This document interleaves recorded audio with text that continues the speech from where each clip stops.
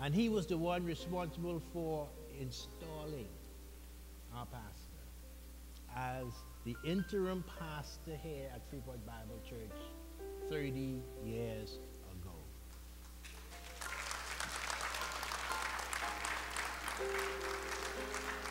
And so it's, uh, you know, we are just privileged to have him here this morning.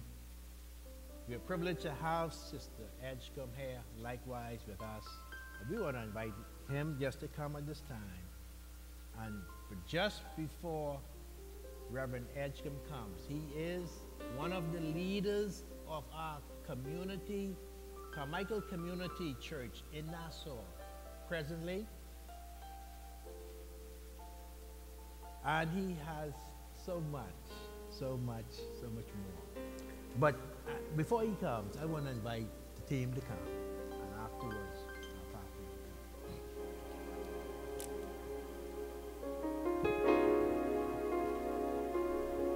Morning, church. I am, I am encouraged by the fact when testing and trial comes, that if the Lord bring you to it, he will indeed bring you through it. So continue to worship him. Continue to praise your way through because we serve an awesome God. Do you believe that today?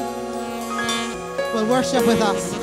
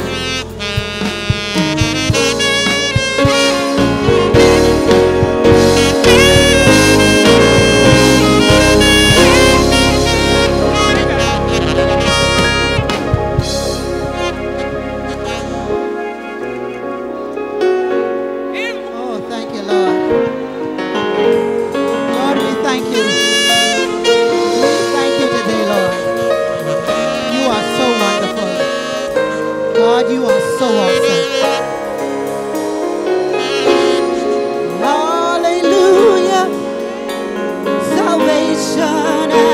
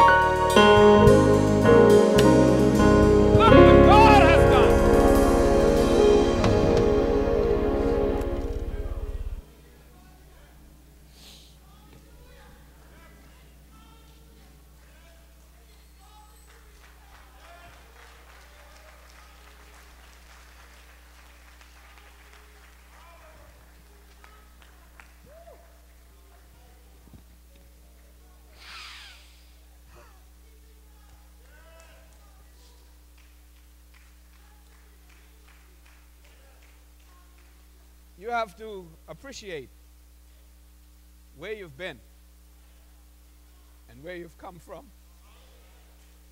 to understand the emotion I feel this morning.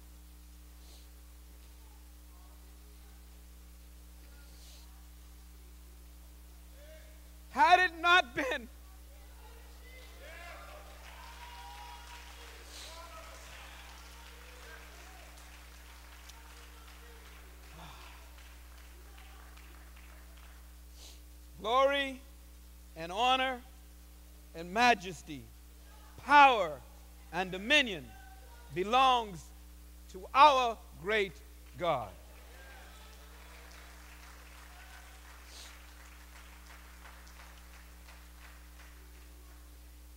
I know I'm pushed for time, but I just I I just had to let them sing that because there's an appreciation that I have for my God.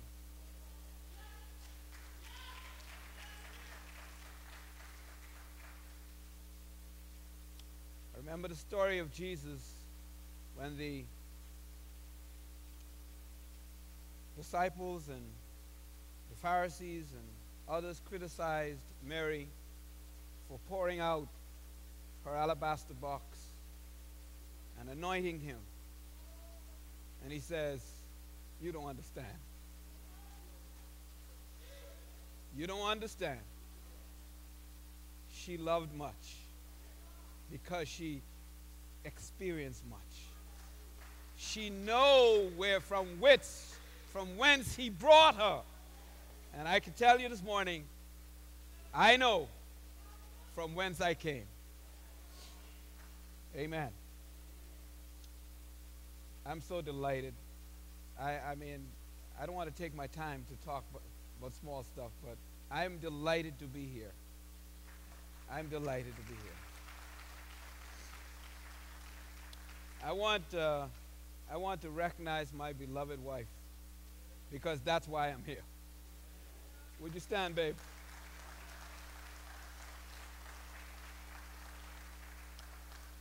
We've, uh, we've been through some rough times. We've had our struggles. And we thought that maybe it would never, it would never be. We thought that the end had come. But I stand here this morning and you say, my God. My God. And so I want to praise her, for she is a woman far, far above women. She excels above all. I honor her this morning. Give her a hand.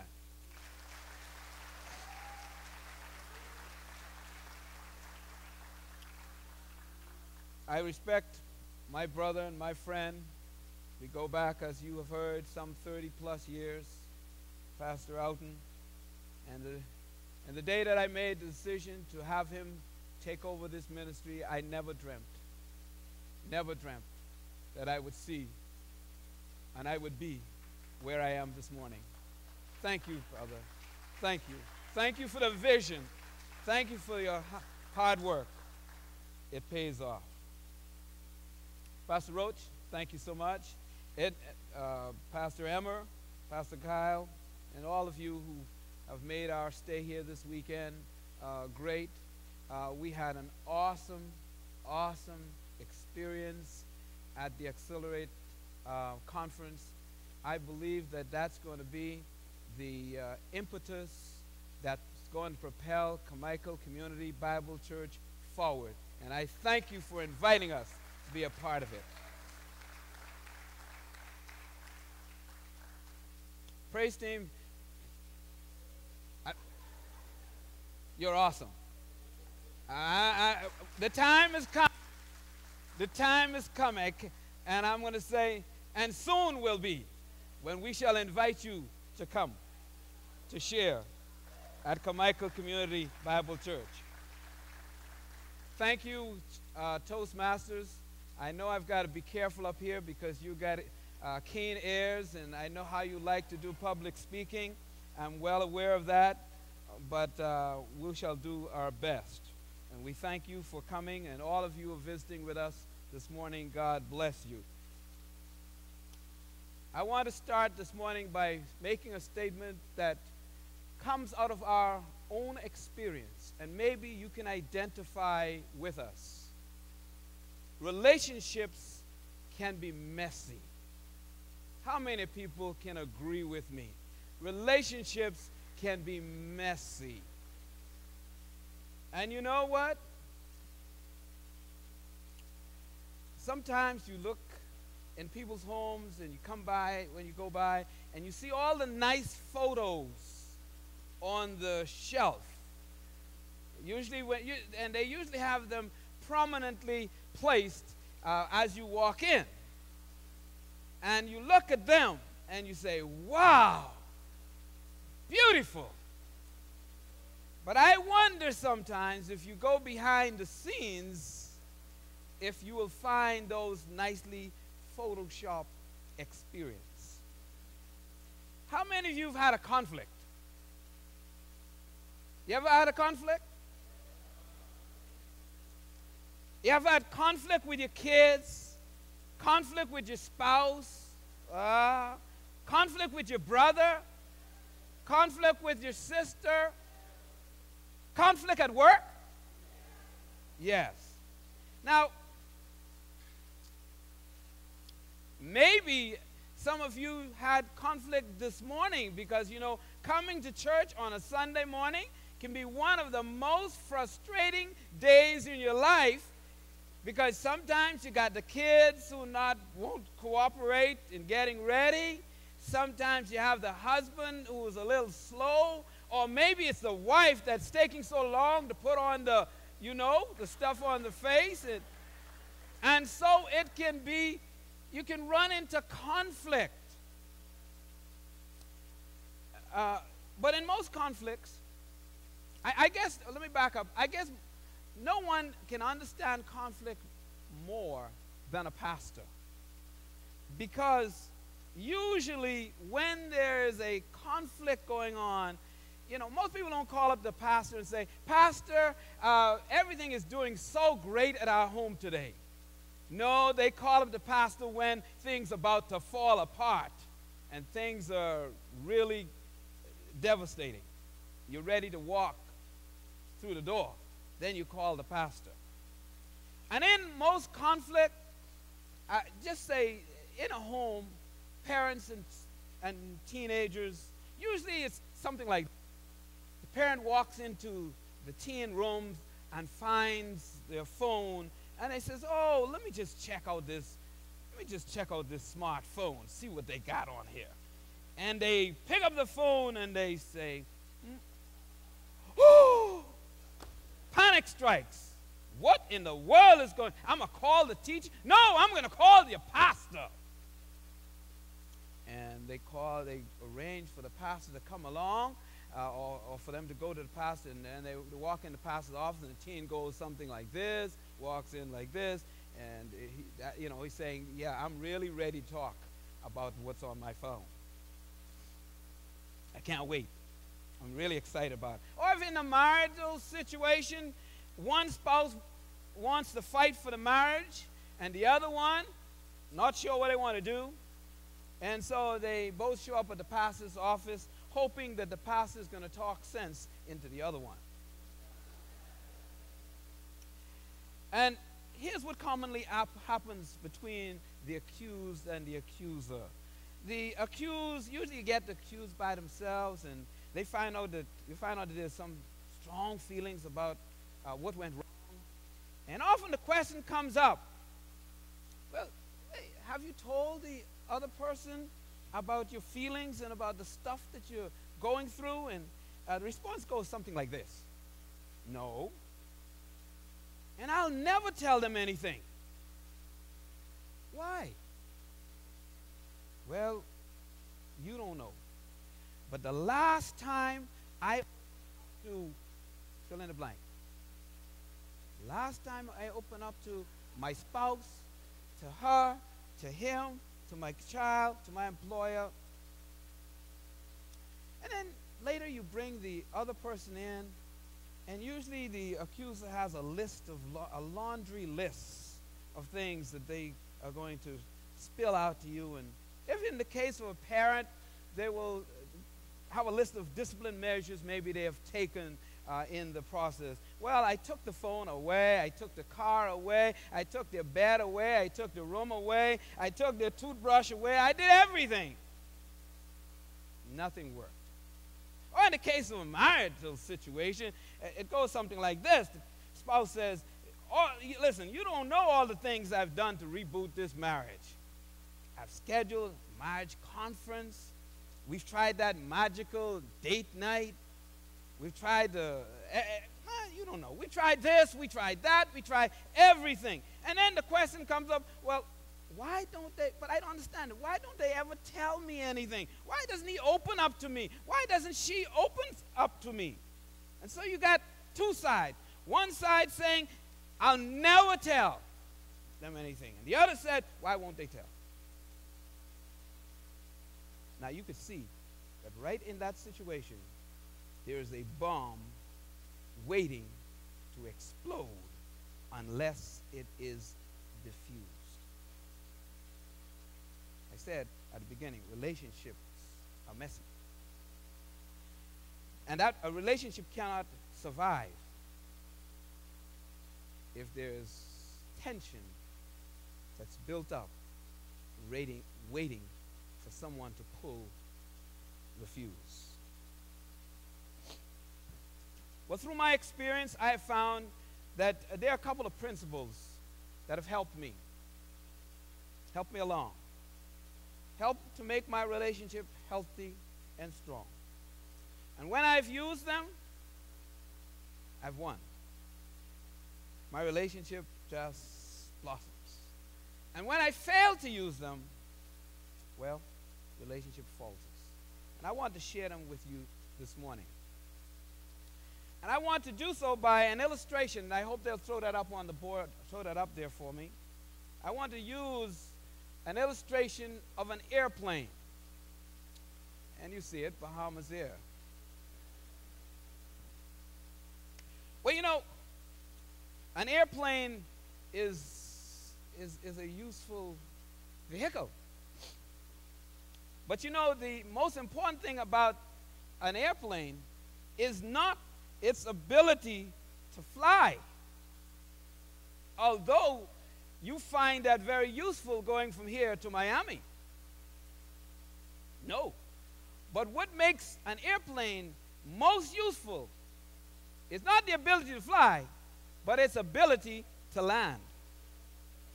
Because I'll tell you what, if there's a plane that always crashing, I'm not going on it. I'm not going there. I'm looking for one that's going to be able to take off and land. And you know, but every once in a while, I, I, have been on, a, on, on several aircrafts, and one time I was on one of these Bahamas Airway flight, and we went into Miami. And when we got there, the guys who uh, run the tower, they must have told the, the captain, listen, you can't land. You're not clear to land.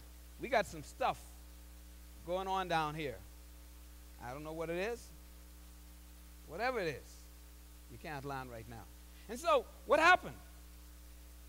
When a plane can't, when a plane can't land, it goes into what is called a holding pattern.